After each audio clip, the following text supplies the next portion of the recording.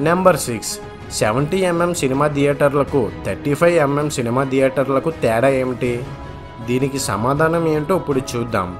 మనం సాధారణంగా ఎడమ నుంచి కుడికి ఎక్కువ విస్తారాన్ని పైనుంచి కిందకి తక్కువ విస్తారాన్ని చూసుకుంటాము.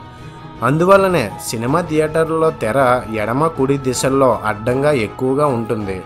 పైనుంచి కిందకి చూసుకుంటే నిలువుగా తక్కువగా ఉంటుంది. ఇదంతా మనకు తెలిసిందే. ఇలా అడ్డానికి నిలువుకి ఉన్న నిష్పత్తిని ఆస్పెక్ట్ రేషియో అంటారు. చాలా కాలం పాటు ఇది ఫోర్ ఇస్ టు త్రీ నిష్పత్తిలోనే ఉండేది. సినిమాస్కోప్ ప్రక్రియలో ఇది సిక్స్టీన్ ఇస్ టు నైన్ లేదా thirty seven is to twenty లేదా forty seven is to twenty నిష్పత్తిలో ఉంటుంది. ఆ విధంగా అలా అలా ఇప్పటికీ నిలువు కన్నా అడ్డం పెరుగుతూ పెరుగుతూ వచ్చింది. అలా వెడల్పుగా ఉన్న దృశ్యాలని తెర మీద చూసే అవకాశం ఏర్పడింది. Four is to three aspect ratio ఉన్న తెర మీద కన్నా సినిమా స్కోప్ తెర మీద ఎక్కువ మంది పాత్రలను దృశ్యాలను చూడటానికి ఇష్టపడుతున్నారు.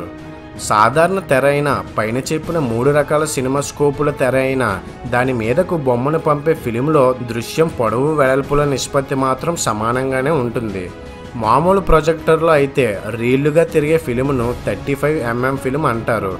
ఎందుకంటే దాని అడ్డం థర్టీ ఫైవ్ మిల్లీమీటర్లు. నిలువు సుమారు ఇరవై ఆరు మిల్లీమీటర్లు ఉంటుంది.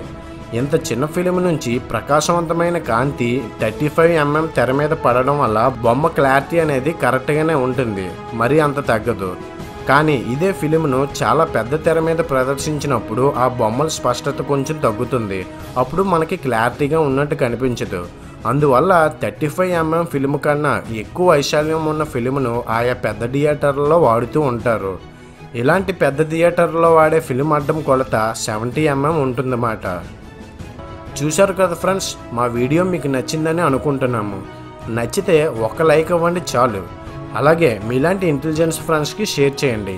ఇంకా మీ మైండ్లో ఏమైనా క్వశ్చన్స్ రన్ అయితే కామెంట్ సెక్షన్లో కామెంట్ చేయండి. మేము మీకోసం ఖచ్చితంగా వీడియోస్ చేస్తాం.